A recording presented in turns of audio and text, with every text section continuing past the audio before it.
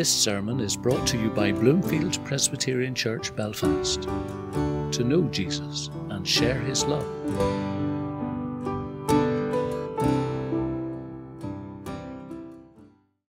So we're going to turn to 1 Timothy chapter 6, 11 to 16, and this is found on page 1194 in your Pew Bibles.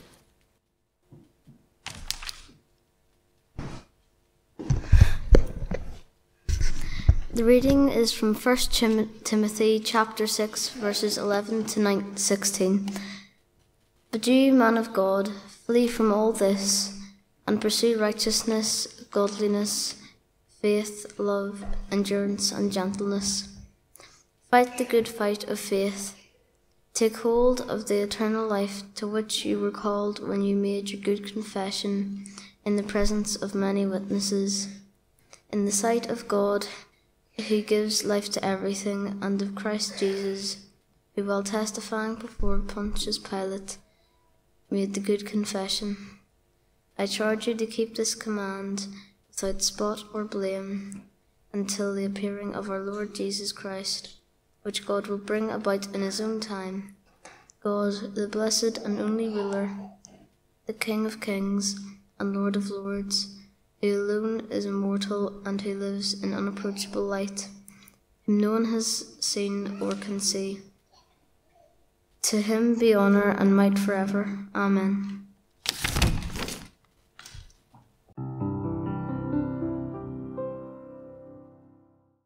Does anybody know who this is?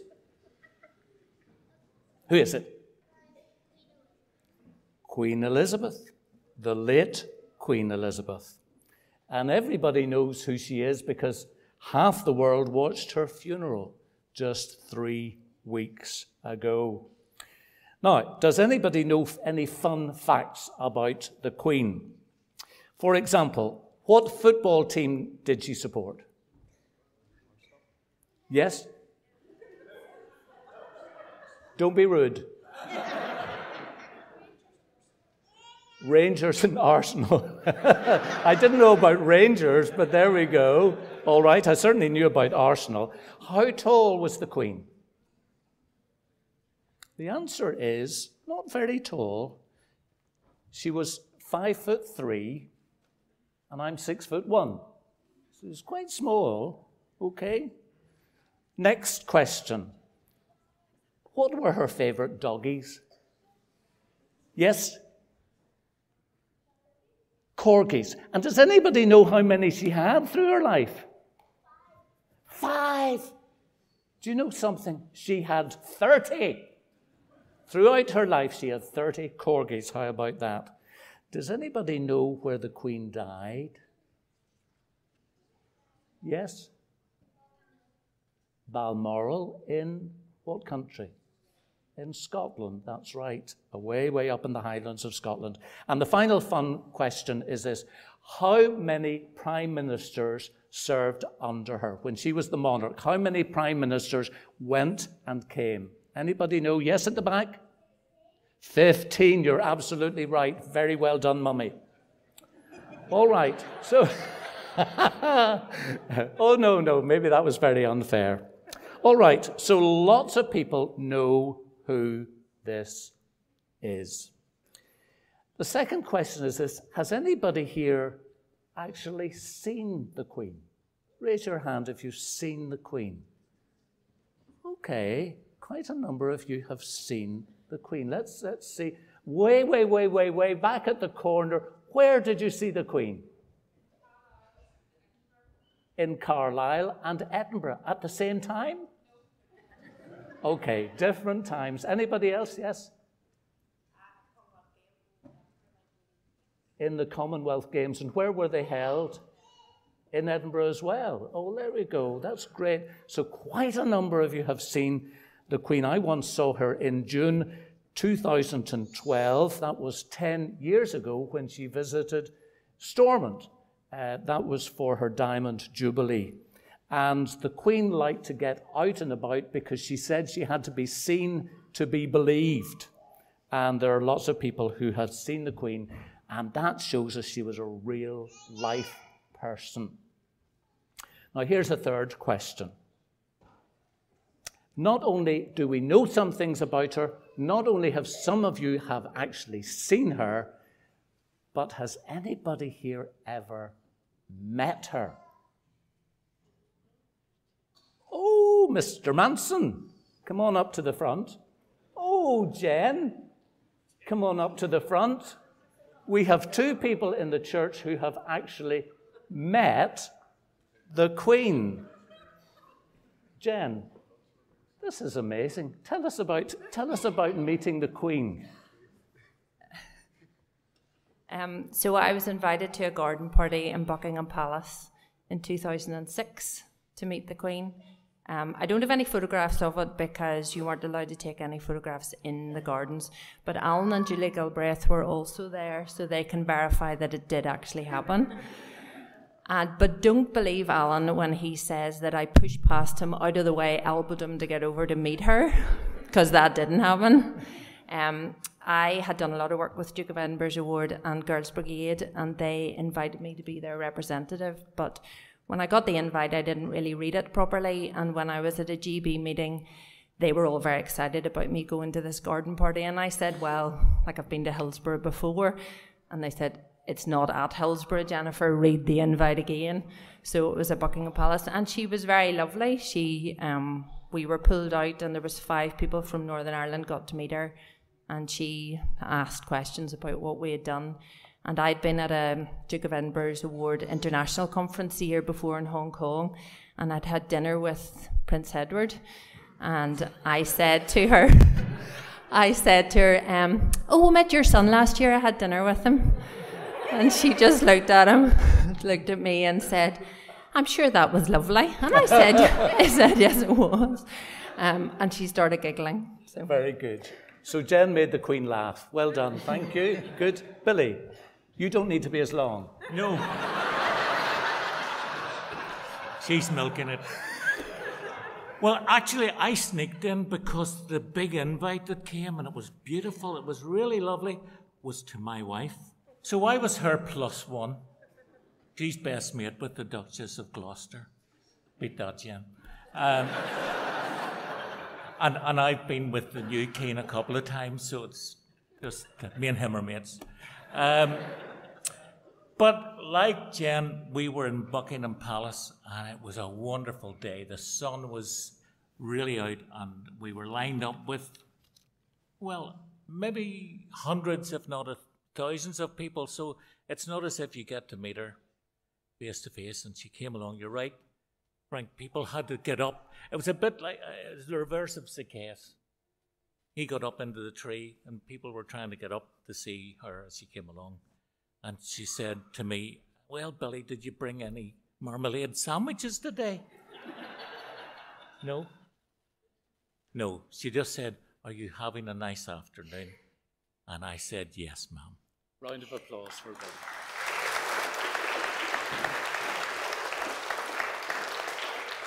Now, where's Joshua who read to us earlier on? Well done for that. Well done. And Josh read to us a little earlier on a passage where the Apostle Paul wrote to a young man just like you whose name was Timothy. And in that letter, the Apostle Paul uh, wrote about Jesus. And do you know what Paul calls Jesus? This is what he says in the passage that Joshua read to us. He says, Jesus is the blessed and only ruler, the King of kings, and the Lord of lords. That's what Paul calls Jesus. So we've been thinking about Her Majesty the Queen, who was the longest serving monarch this country has ever had. But Paul is telling young Timothy about Jesus from Nazareth, who is the king over all kings, the Lord over all lords. Now, Paul knew a lot of things about Jesus. Let's see if some of us can think of some facts about Jesus. Uh, Time magazine, incidentally, have called Jesus the most influence, influential figure in all history. So, the first fun fact is this Did you know that Josh, Jesus was a very common first century name? it was as common then as Jack or Noah are today. Jesus wasn't a particularly unusual name. Lots and lots of people were called Jesus at the same time that he was. But it does have a great meaning. And the name of Jesus means God saves. There's, there's another name that we have today that means exactly the same, and it's called Joshua. So Joshua is also the same name as Jesus, and Joshua, it means God saves. That's a great name for you to have, and it just is coincidence that you read to us from the scriptures tonight. So that's just a wonderful thing. So that's fact number one. Jesus, his name was quite common at the time that he was alive. Fact number two did you know that Jesus had a number of half brothers? And in fact, in Matthew's gospel, we're given their names.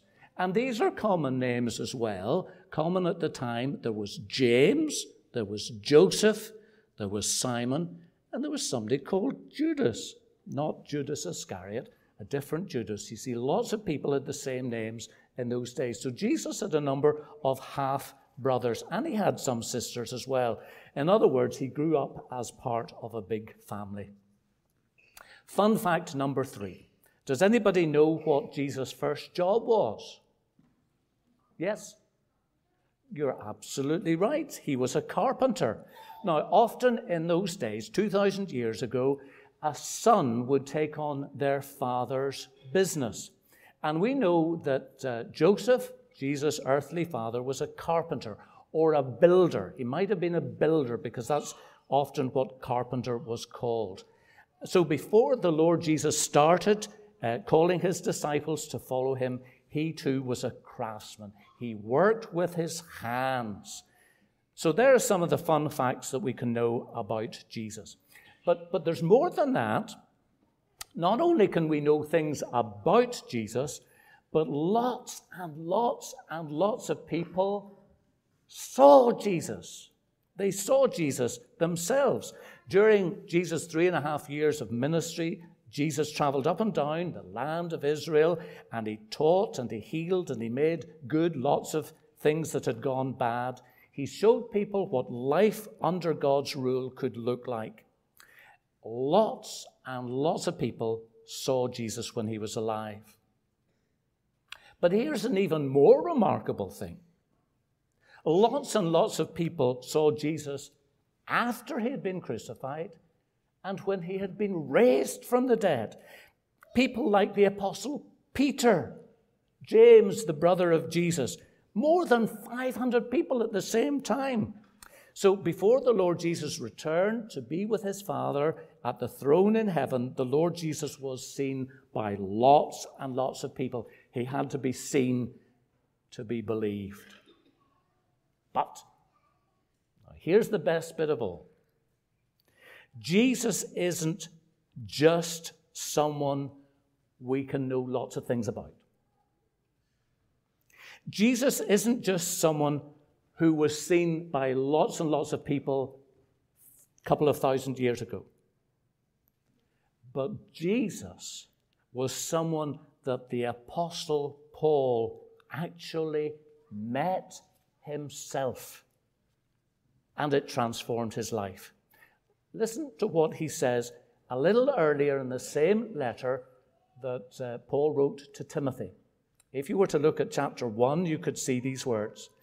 Paul says, Even though I was a blasphemer and a persecutor and a violent man, Paul writes to young Timothy, even though I hated Jesus and everything about Jesus, God showed me mercy. And we're told that on the road to a place called Damascus, where he was going in order to hurt people who called Jesus the King and Lord, Jesus met with the Apostle Paul, and Jesus changed his life. He showed mercy to Paul. He forgave Paul for his many sins, because as he says in chapter 6, instead of, of fighting Jesus, he started to pursue righteousness and godliness and faith and love and endurance. and gentleness. I think we should ask these two up again. Billy, come on up again. And Jen, come on up one more time. Because earlier on, these two good people told us about meeting the Queen. Not only did you see the Queen, but you met her. You shook hands with her. You spoke with her. But I know that you have met the King of Kings and the Lord of Lords. You've actually met Jesus. Now, how do we get our heads around that? What does that actually mean? What does it look like? Billy, tell us. Well, just the, the way we've learned things about the Queen tonight, I suppose my mum and other leaders told me lots of things about Jesus. And then, as I got to know things about him, then I thought this was someone that I needed to meet. And when I was probably a junior section age, at a particular meeting one night, and a man just said, If you'd like to meet Jesus, I can show you the way. And I said, I would very much like to meet him. And that was a long time ago. And uh, I've been meeting him every day since believe it or not, not just once when I went to Buckingham Palace to see the Queen. And I don't have to go to a big palace to, to meet him. I can meet him anywhere. At least that's what the scriptures say. And that's my experience. Jen, was your story exactly the same? Um, I like Billy. I had lots of uh, friends and family who knew Jesus, and I grew up in a family who loved Jesus, and I went to church all the time, it felt like, and went to Girls' Brigade and everything in church. But it's very easy to just go and hear the same thing over and over again. But I went to a mission in our church in Newtownards, and it was there that someone just gave a message that just really struck a chord with me and made me really think about what direction my life was going in. And I was about 10 at the time. And at that point, I, I said that I wanted to follow Jesus. And whilst I did meet Jesus every day after that, there are certainly times in my life that I maybe haven't met him as much. And, and that's the good thing is that Jesus always allows you to come back to him, even if you have stopped meeting with him. It's not that just if you don't meet him a few days that you can never see him again but he's always welcoming you back. Um, and that is that's really quite unbelievable. Thank you, thank you, Billy, very much indeed. Because I think what you've told us is that not only did you meet Jesus a long time ago, but you're keeping up that relationship with him now, and you are getting to know him more and more and more.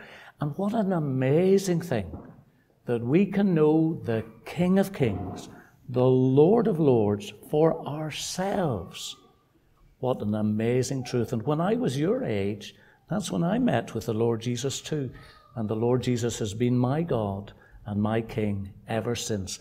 And I cannot tell you of a better life because He loves you and He wants to enjoy your company as well.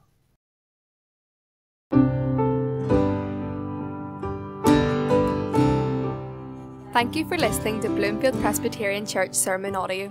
We're a congregation in East Belfast with worship services at 11am and 7pm every Sunday.